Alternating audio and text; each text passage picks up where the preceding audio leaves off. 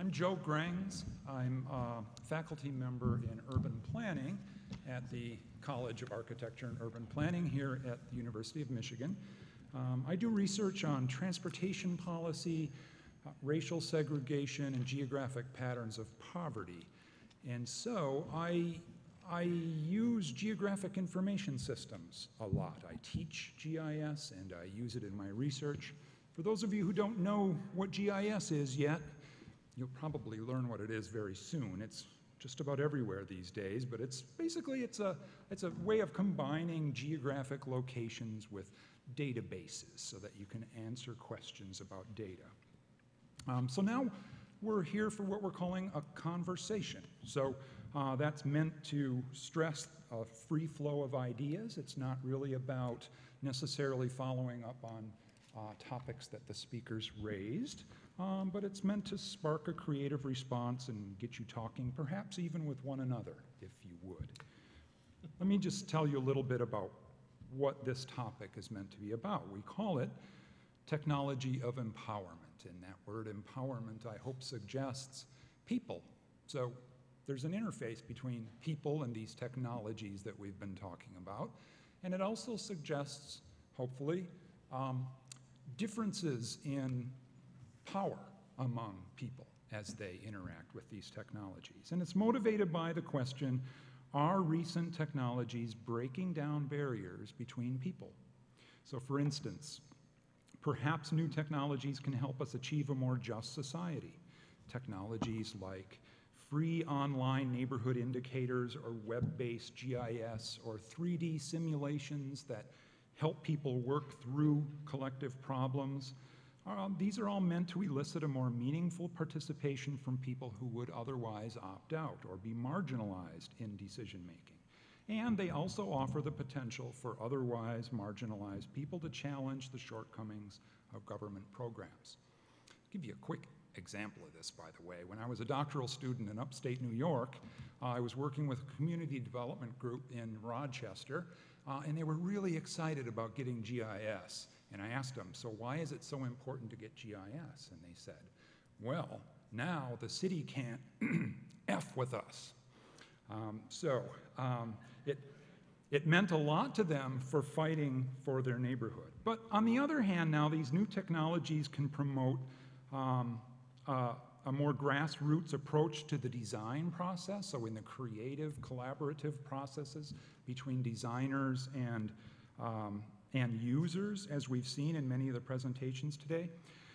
Yet other aspects of these very same technologies threaten to undermine the breaking down of these barriers that I'm talking about. Softwares are complex, costs are high, digital information privileges certain kinds of knowledge, and um, we have um, a sort of a positivist approach to understanding the world. So, um, Ultimately, we're wondering where are we headed with regard to the potential for information technologies to deliver on empowering a more engaged, active citizenry and a more inclusive, collaborative design of the spaces we use and the places we inhabit. So let me get started then with, um, with I'd, I'd, I'd, like to take slightly a different approach here now. We've so far been talking about your ideas and your beliefs and your thoughts about this stuff. Now I'd like you to reflect a little bit on your practice, the things that you actually do. Even though we come from different disciplines, all of us do something each day. We teach students, we uh, work with clients, etc. Could you reflect a little bit on the things that you do um, um, to counteract the ways that technology might contribute to either bringing people together or pulling them apart.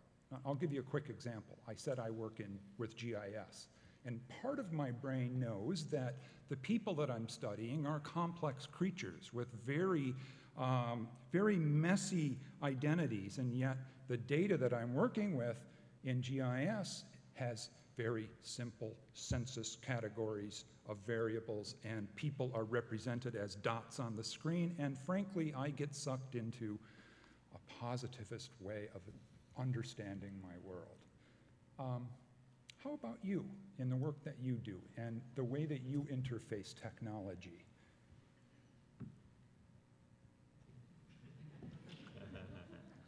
I can start. Yeah.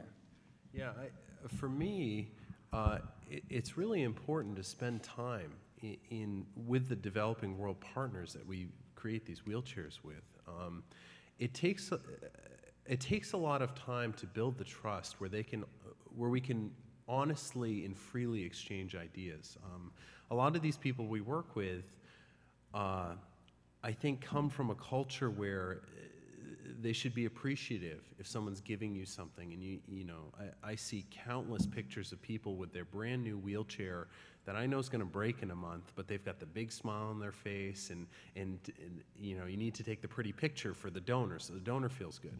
And you need to break that down and, and really you know, ask them, what do you think's bad about the design?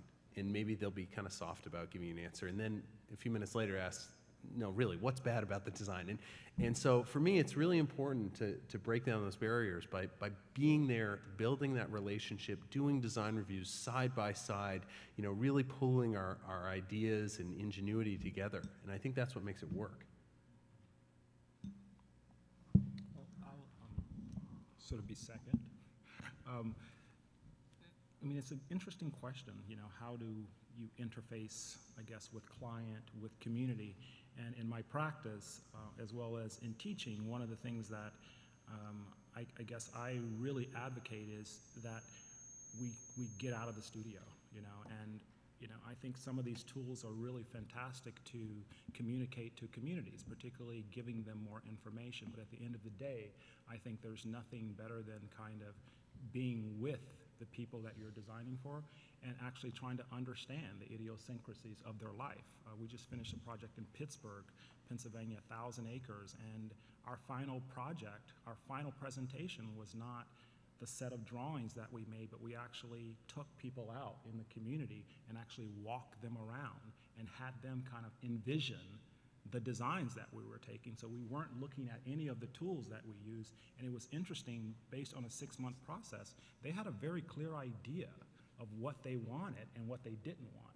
And they would not say that in the public meeting, but they would say it on the street corner. They would say it in the park. They would say, we don't want it here. And this kind of feedback loop, I think for us, it's a way to somehow validate, but at times, you know, get you out of this kind of singular way of thinking about your work. So.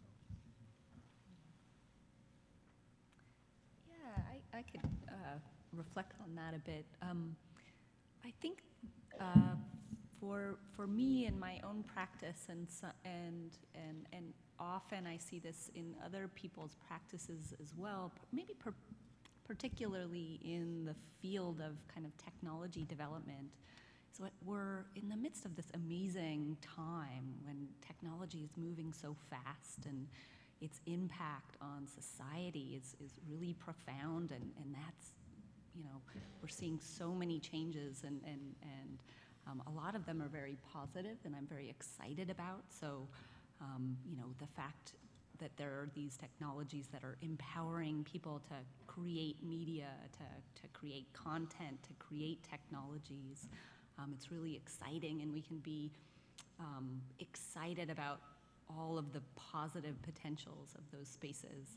Um, I, I find um, myself, and again, the, the communities that I'm part of, uh, doesn't often enough step back and reflect on the negative implications or potential negative implications of some of this technology. Um, I think part of technology culture that's wonderful is that we tend to be kind of exuberant and engaged in what we're doing. Um, a, a, less wonderful kind of parallel to that is we tend to, to be not so self critical or introspective about the systems that we're building.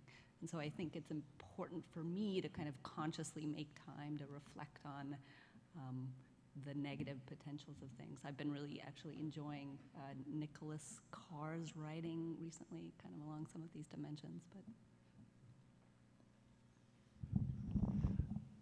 as, as an academic, uh, I, I, think there are, there are three ways in which, which, which I've tried to participate and, and intervene in these processes. One has been in the academic domain, and that has meant um, engaging in conversations with, with people who approach these technologies from a more mainstream perspective and a more sort of value, presume, presumptions of, of value, freedom, and ob- objectivity, and, and, and find ways to have productive conversations where each side learns from the other. And that's actually been a fairly successful process in my discipline. We've seen some very interesting cross fertilization over the last 15 years between the software developers and the GIS researchers, as they used to be known, and, and, and, the, and people um, looking at these issues from, from a more sort of critical and, and, and emancipatory perspective.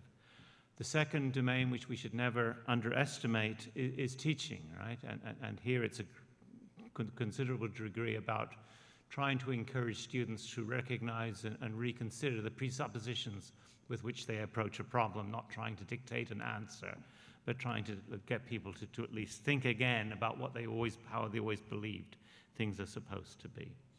And then the third level has been working in low income communities in, a, a, deeply participatory mode, really trying to involve members of the community fully in the research so, so that their um, perspectives, their initiatives, their priorities become more, at least as important as those that we might be bringing to the project. As I've said in my talk, it's a very difficult process to do. It's not only difficult because you're already approaching this from very differently empowered positions, the academic versus community members.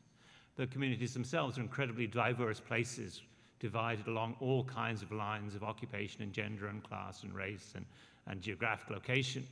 And, and so involving them in discussions which will allow people to feel like they're making a difference without all having to come to a consensus remains an ongoing challenge.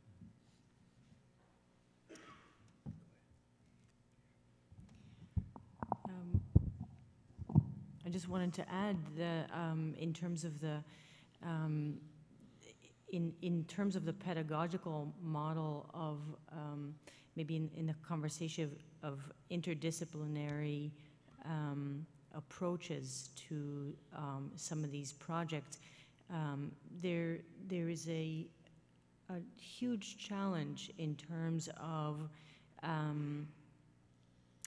linking up or, or aligning the different kind of discourse that's happening in different um, in different disciplines that bringing those together i think around a particular project um, that's that's more in a, in a laboratory setting that has particular parameters allows for that kind of um, perhaps a new language to develop between between the disciplines. Um, it's, I find it um, challenging to actually breach um, the divides between faculties um, and that are so necessary to these kinds of experiments in terms of bringing engineers on board and bringing the biologists on board and and aligning um, as well the, the courses and the students that are affiliated with those um, with with those disciplines. Um, and so to me, that's, that's a, um, something that is absolutely necessary in order to crack a lot of these problems is to bring the, um, the expertise that's associated with different disciplines together and how to do so within, um, within an academic uh, setting is, is, um, is a big challenge. Yeah, I, um, um, I think it's a big world. And um, I think there are a number of different ways of doing this, and I think we've seen a wide range of, of making this kind of address. And I'd just like to offer that we often equate empowerment with a, an explicit social agenda. And um, as someone who is very thankful that he did not go after Amos, you know, championing um, a BMW Welt after Amos's presentation would have been problematic, to say the least. Uh, um, but, um, and I'm someone who, I do a lot of things, but I think one of the things that I enjoy best is to write. And what I try to do when I write is to show the ways in which the physical environment changes sensibility, regardless of a social agenda, although I think that is implicit within it. But I think one of the things that architecture and landscape architecture and all design disciplines do is something that perhaps is not at first socially explicit, but finally is profoundly socially explicit insofar as it changes the way we literally see the world.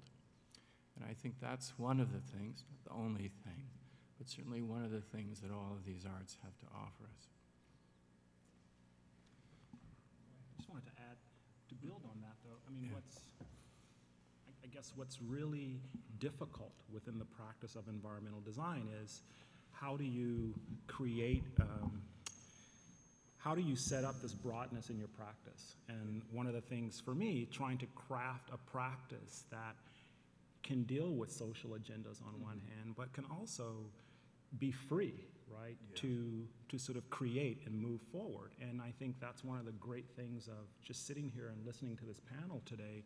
It's one of the things that, you know, I constantly sort of strive for, you know, to have this kind of generosity on one hand, but also this commitment on the other hand to uh, your profession, the thing that you do. Because historically, I mean, we know in the 20th century, particularly in this country, architecture, environmental design, the social agenda of this country mid-century, it really did destroy a lot of individuals and practices, you know, and, and really kind of put certain people, um, well, to be quite frank, it put people of color, people who were, had been marginalized, who came into these environmental design fields, it said to them, you're the only ones who are going to do this, you know, and so you get marginalized within the profession.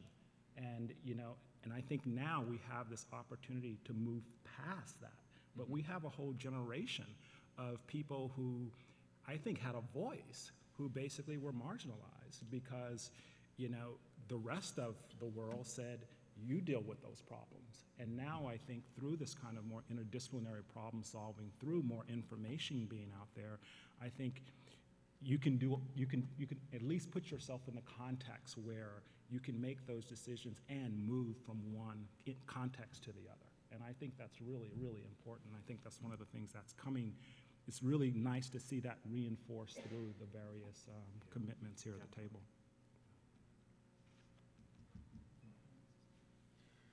Well, a, a lot of things have come up today that um, might cause us to be fearful, um, or, or I'm sorry, hopeful, for, hopeful for um, the future and bringing people together. But now I'd like to ask, you know, what, what is, what aspects of these technologies we're talking about make you most fearful? The, the aspects that uh, may serve to separate and drive people apart.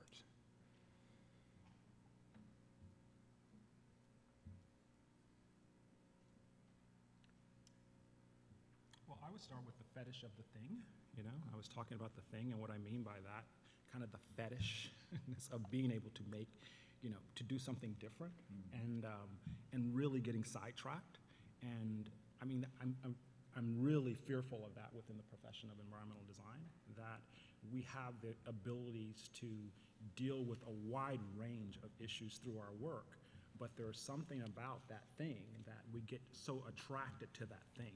And I hope you guys understand what I mean by the thing, right? I mean, it's, you know, I got that new CNC, I got that router, man, and I'm back there making form, you know, but Bernini, you know, he did exist at one point in time. So, I mean, there's this ability, how do you move from that kind of the fetish to the world? And, and that, you know, I struggle with that. I struggle with that in the environmental design um, profession as well as in academia, as well as, you know, just in general. And I think for me, that, that's very scary to me because there are bigger issues.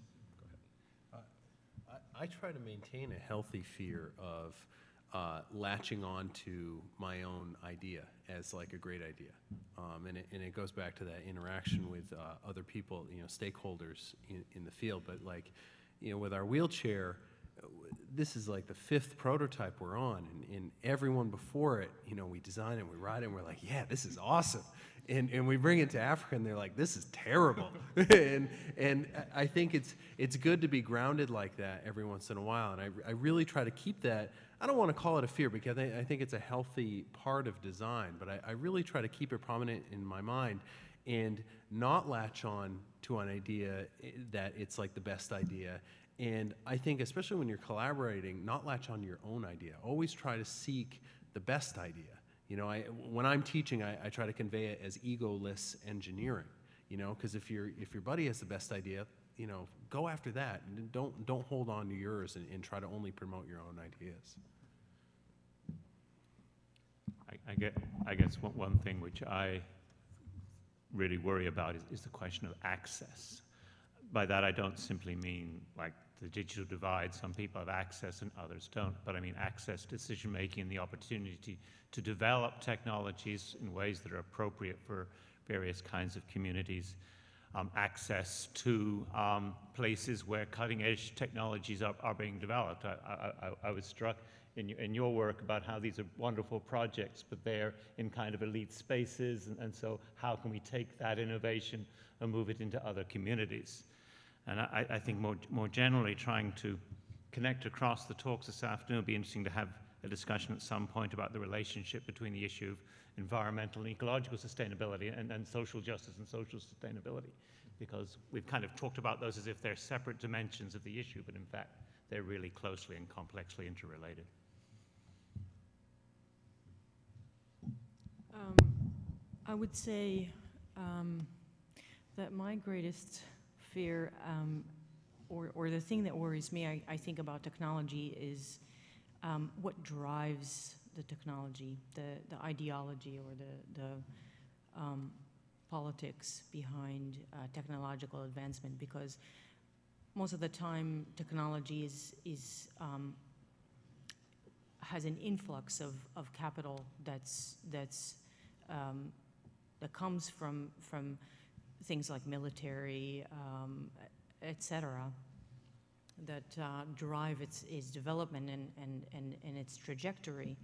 And I think that that's something that, um, you know, in, in a other context uh, of my studies in terms of water management, um, technologies such as uh, desalination and, and, um, and reverse osmosis, things that are, that are actually, you know, championed in, in certain uh, climates, especially arid climates, uh, become so prevalent and this kind of this, um, this uh, overall panacea to a larger regional problem um, that sometimes precludes a, a, a, shift in the thinking of, of a much more comprehensive and integrated management uh, in terms of water resources. So attaching this kind of um, mechanical or technological solution to a problem that is a lot more complex, that could have a lot more diversification in terms of its solutions, um, what some term soft solutions rather than hard solutions. Um, and so the, the questioning of sort of what drives the technology for it to, to, um, to proliferate and, um, and perpetuate certain um, actions. So. I, am not a big worrier, um, I have to say. Um, I'm just, just not. and, but sometimes it does concern me that um, a population such as ours, which enjoys so many luxuries, I mean, my God, you think about it. We hit the jackpot. You think of any other time or any other place that you could have been born, we lucked out big time. So if there's one thing that does concern me, it doesn't really worry me, it concerns me, is that sometimes we don't realize that. And we don't realize how much we do have accessible to us, how many tools are available to us, how many resources are available to us, and you know how much we really can affect the world. Yeah, uh, a uh, concern I have, I guess, about the uh, the current technological landscape that we're living in is uh, there's this wonderful new ability we have to personalize everything. So I can uh, uh, uh, personalize now objects. So We talked a lot about that today. Um, new technologies that let us um, have exactly kind of the objects that we want or the environment that we want. Um, technologies like uh, Amazon or, or helping us have our own personal, really kind of wonderful, tailored uh, uh, bookstore, kind of just for my interests and uh, my kind of perspective. Um, uh, communication technologies are creating these kind of personalized communities so I can now connect with people around the world that, that share my interests and passions and create these kind of niche communities. And that's really wonderful in, in many, I, I worry about um, the kind of stratification of society that, that, that some of this uh, implies. And I think we're starting to see some of this in, for example, the current political discourse in the country and just how, um, how you get the sense that everyone is kind of living in their own kind of personalized uh, political reality, and there's not a lot of uh, shared experience or kind of shared uh, media or really shared culture anymore, and that that is uh, problematic in, in a lot of ways. As our speakers make their way back to their seats, could we give them a big hand?